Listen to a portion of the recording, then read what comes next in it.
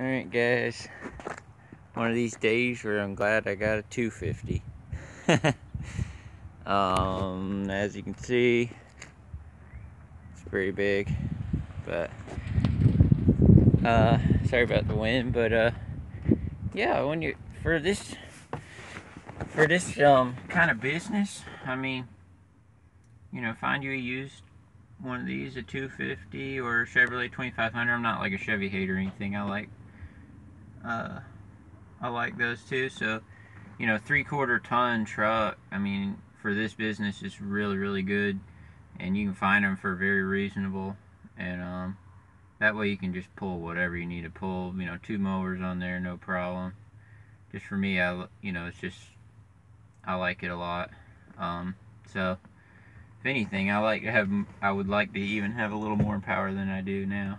But, um, anyway, hope y'all are having a good day. Just a quick thought.